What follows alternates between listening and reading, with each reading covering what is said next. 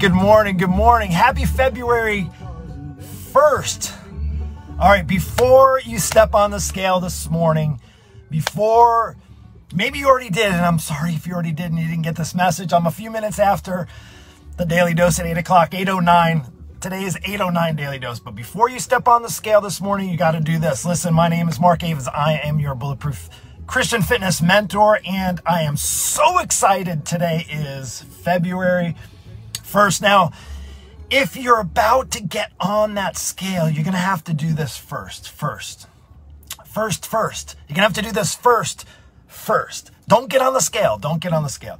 Now, let's just kind of do a little recap from the weekend. Whatever's happened in the weekend, whatever happened in January, guess what? It's gone.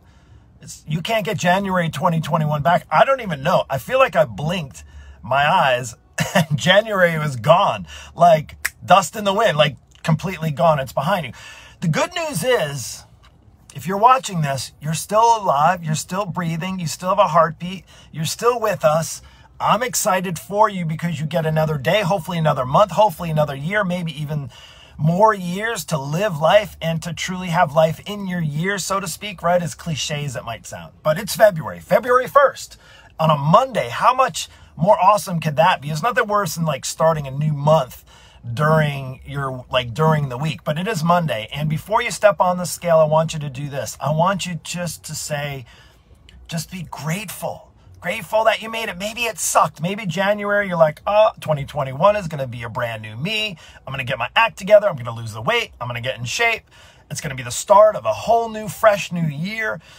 I'm not going to worry about what other people think or whatever people are saying. I'm not going to let all the distractions get in the way. And now you're at February 1st and you're like, exactly what happened is what happened. Exactly what I didn't want to happen was what happened. And now you're looking and you're like, like you're getting that kind of angst in your your mind thinking like i don't want to step on the scale i know i didn't i know i know i didn't do too well this past week or weekend. Maybe you get on the scale every single day and here's what i want you to do. Before you get on the scale maybe this month is the month you just don't even get on the scale.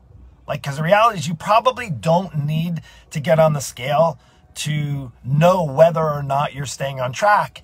And here's how you do that because the scale is is really a vicious vicious enemy because the scale all it does is tell you what the number of your your whole body weighs. That's it. That's all it does. Doesn't tell you how fit you are, doesn't tell how healthy you are, doesn't tell you how much muscle you have on your body. And even despite some of those machines that have like the body fat and the muscle, yeah, you can get all that stuff. But at the end of the day, at the end of the day, when I help people on a healthier path, get people when they're losing weight, getting in shape. Like, yes, the scale, the scale, the scale. But Mark, the scale isn't changing. Well, what are the pictures saying? Because I'm looking at your before and your pictures, your progress pictures, and they're telling us something different. Your body is, is transforming. What you're telling me is your clothes are fitting better. Your body is transforming. You feel more confident. Your body is transforming. You see, there's really, there's really nothing transformational about what the scale says. Now, mind you, yes, if you say you're losing weight and you lose 20 pounds and 30 or 40, whatever, that's fantastic. That's fantastic if that's what you're in pursuit of. Maybe you need to lose 20, 30 pounds. Cool, cool. But I always come back to saying it's just the scale, right? There's a whole lot more to it. And, and while it's Monday, and what I want to get across today is that if you can get your mind focused off the scale and start thinking about, well, why are you eating healthier? Because you want to have more energy, feel more alive, maybe not get tired and fatigued all the time, have more energy for your work or for your family, right? Those are the things to eat healthy. Healthy eating habits are going to produce awesome returns, helping you live a healthier life. It might even protect you from some of the things that are trying to attack us right now. Now, let's just talk about getting stronger and exercise, developing good heart health, and developing strong muscles to protect your joints and to minimize the effects of aging and osteoporosis and, uh, and arthritis. Now, mind you, yes, it comes down to the, the aesthetics, right? You want to look good, right? Well, you want to look good. Well, what does that also come in? Is it the number on the scale? Because to be honest with you, I've been married for 20 years. I don't care what the number on the scale uh, that I don't even I don't even know what it is for my wife. I don't care. She probably wouldn't tell me anyway. She doesn't probably know the number on my. We don't care. What we care about is each other being healthy and fit. I know my wife busts her butt to to eat as healthy as, and it's not perfect, but she busts her butt to get in exercise and to stay accountable, to get stronger and to get healthier. And we have a, a good, healthy physical relationship, if you get my drift. Like that's some of the things I want you to get excited about. So before you get on the scale, ask yourself, is it really going to serve you today? Now, don't get me wrong. Like you may be using that as one of your measures if you're trying to lose weight. But if you're so focused on what a silly number says on your scale, to this could be the month that you actually could focus on so many of the benefits why you're exercising, why you're eating healthy. Like the relationships that you have with yourself, the confidence that you have with yourself, the strength that you could potentially put in your body to, to fight off any kind of viruses, right? Can I get an amen there? Here's the, here's what happens the scale, the scale is a lot of people's enemy. I know. The scale could be the one thing that you're using to measure your success. Why a lot of diets, a lot of quick fixes, a lot of those those challenges and things that, that are so fixated, you know, like Weight Watchers, how many pounds did you lose? Keto, how many pounds did you? Don't get me wrong, we talk about pounds in our program. But my students know and are being trained to understand that weight on the scale doesn't tell you how much how fit you are. It doesn't tell you just the weight on the scale. It doesn't tell you how much muscle you have. It doesn't tell you how much fat you have. It just tells you how much weight is on the scale, how much your body is comprised, your bones and your muscles and your joints and what you ate the night before and what your body is retaining in fluids with water.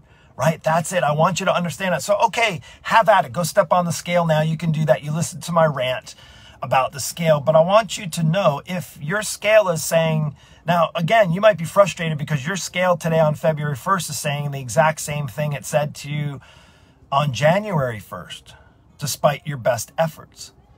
And maybe it's even saying something worse. Maybe it went up a few pounds. Maybe you're saying, Mark, how, how, I don't even know what to do anymore. I'm just so frustrated. I've tried everything. Well, a couple of things to that is maybe you've just given up. Maybe you've just stopped because you didn't work the plan that was in front of you. Now, whether it be a good plan or not a good plan, I don't know that. I can tell you though, if you want a good plan, or at least understand what my students are succeeding, how they're succeeding, is they have a legit plan with backed up research in the trenches. Literally, I've been doing this for uh, for a long, long time. Let's say that, and I would say is a proven track record of success from past students. And if you want to succeed, sometimes it takes maybe looking at what you're doing isn't working so well.